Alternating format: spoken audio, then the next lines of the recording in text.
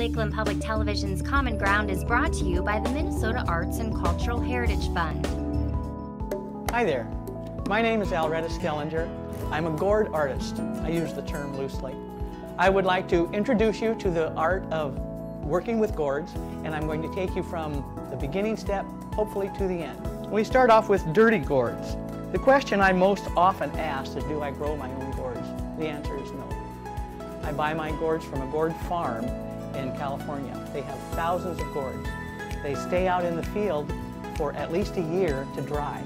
When I get them, they look like this, covered in mold, debris. There's kind of a film on them. So that means I have to clean them before I can even begin to get started. I clean them by soaking them in water and scouring them with this uh, little Brillo pad.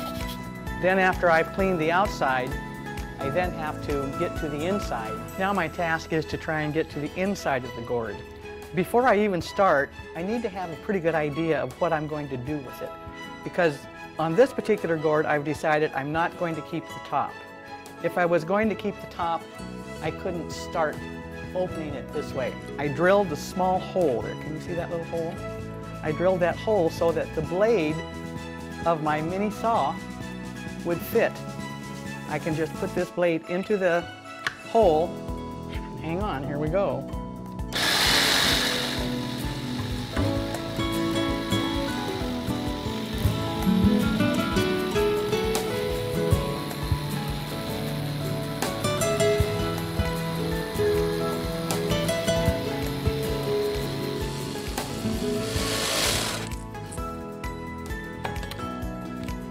I also want to point out that you need to be cautious of this dust. It's toxic and it has a, a, tendency to suspend in the air. It doesn't settle. And for that reason, um, I usually wear a mask and I also have an air filtration system that picks up any of those fine particles in the, in the air. Now we have, um, we've cut off the top of the gourd. Now we get to see what's inside. Well, that's not so bad. But there's a bit of a mess on the inside. That means I have to get that out. By the way, if you're looking for gourd seeds, I have a few. There's always a couple. Um, I give them away to kids and, um, and sell them on the side. I, I made that up, I don't really. But now I want to show you how I clean the inside of the gourd.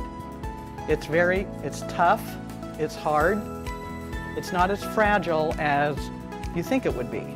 And they're very lightweight because they're, they're dry, but they're really quite strong. You can see how thick this gourd is, and that's the main reason I buy my gourds from California. The growing season is longer, the gourd becomes thicker in its growth.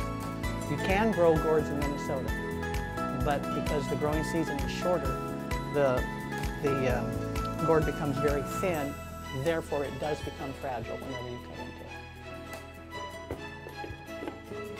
I have an abrasive ball that I bought from a website uh, for gourds.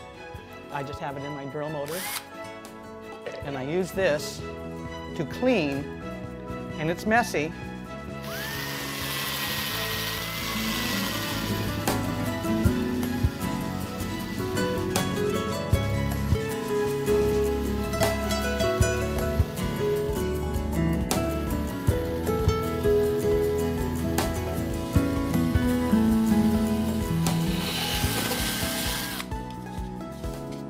I draw a design on with pencil, usually sketch it, uh, seldom use a pattern. Um, and then I, will be going uh, to another station in order to do the wood burning because I have all my tools set up over there. This is my wood burning station, I call it. I have, um, I've taken a different gourd and one of the things I did want to point out, this gourd is um, not going to sit up by itself. If I tried to sit it by itself, it would, it would tip. So another thing that I do is I make gourd stands.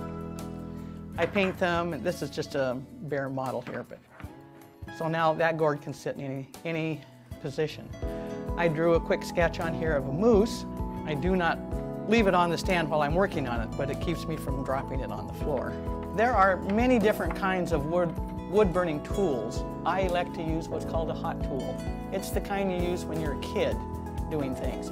But I like it even though I can't adjust the temperature on it. I have better control. I'm going to put this on my lap to help hold it. This is my test block. Oh yeah, burns in there. I get a little bit of smoke. The gourd has different densities. So sometimes your tool is moving very, very smoothly and all of a sudden you make a big hole because it's, uh, you never know what you're going to run Try to keep a, a constant movement. You can see where I've skipped a couple of places. I'll have to go back and check that. And notice that I'm moving the gourd as well as moving my hand.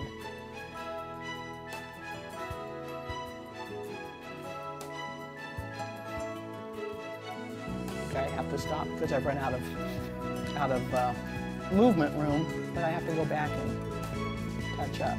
In burning, I get debris on the tip of the tool, so I just wipe it off on a little piece of sandpaper.